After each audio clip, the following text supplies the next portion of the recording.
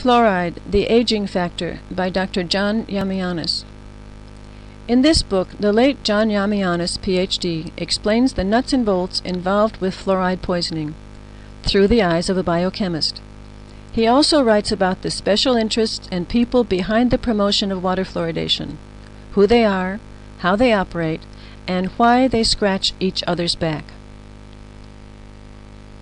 John and I worked together on a major court case in Pittsburgh in 1978, and for several months my daughter Julie and I lived with the Yiamouyiannis family at the farm in Delaware, Ohio.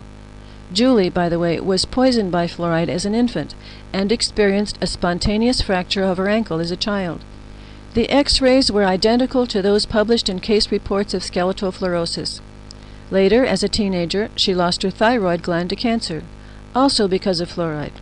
I myself lived with arthritis, allergies, and gastrointestinal problems from age 7, almost died in anaphylactic shock at age 18, and had symptoms suggesting a series of small strokes by age 25. After an EEG showed clear evidence of poisoning by some unknown chemical, I changed my diet. Within a year, all of my health problems had disappeared.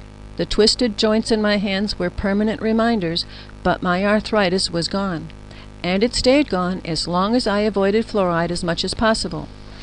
Then, at age 54, I discovered the joys of fibromyalgia caused by fluoride air pollution.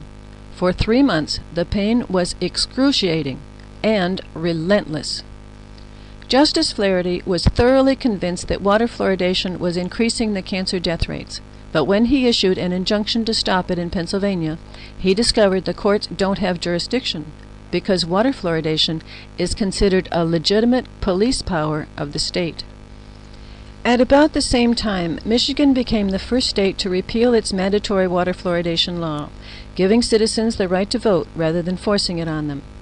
This came about after I persuaded Governor Milliken's staff there was evidence that although the concentration of fluoride in the water supply hadn't changed, the concentration in food had increased dramatically. Two committees were appointed to look into the matter. And then Michigan's Toxic Substance Control Commission got involved and issued a warning. At one point, the director of the Michigan Department of Public Health gave radio and newspaper interviews supporting my point of view about runaway dosage, way back then. Then he quit his job and took another at the department. The story made headlines in several newspapers, and my husband stopped telling me I couldn't fight City Hall. I was lucky. The legislature was revising the health code. All they had to do was leave out the part about mandatory water fluoridation. The Michigan Dental Association, the American Dental Association, and numerous other individuals and groups did their best, but it wasn't enough. The people would decide. In August 1983, the big guns got together for a symposium at the University of Michigan.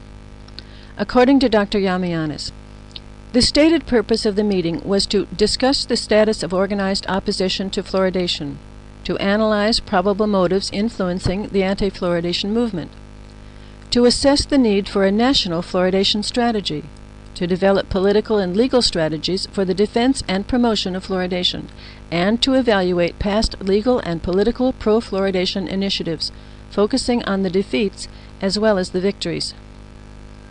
John also writes about Stephen Barrett of QuackWatch.com, who sued me for 100,000 US dollars a few years ago and lost.